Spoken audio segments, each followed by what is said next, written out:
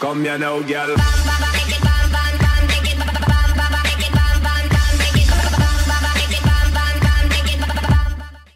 Hey what is up you guys? It's Vezio and today in this video I'm gonna be teaching you guys how you can install fonts on your Android device.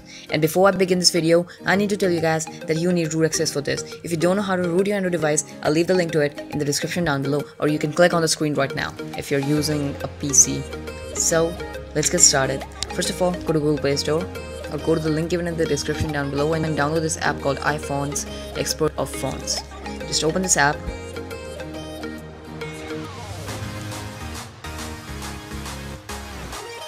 Grant the root permissions. Choose a font that you like. This one.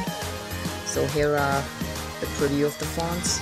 And now once you choose the font you want just click the download button. And it will download it. Now go to my downloads click on your font and click set. Now it will, it will ask you set fonts to all things pink after setting font success phone will reboot. So after you click ok your phone will automatically reboot so don't worry.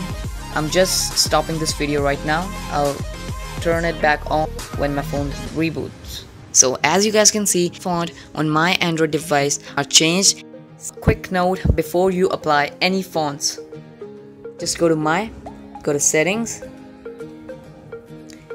change font mode and here you have to select auto smart match. It will automatically detect what device you have and what mode is perfect for you so that's pretty much it for this video guys. I hope you enjoyed it. If you did, make sure to give this video a big thumbs up. Share this video with your friends so that they can also change the fonts on their Android device. And as always, I'm Vezio and I'm signing out.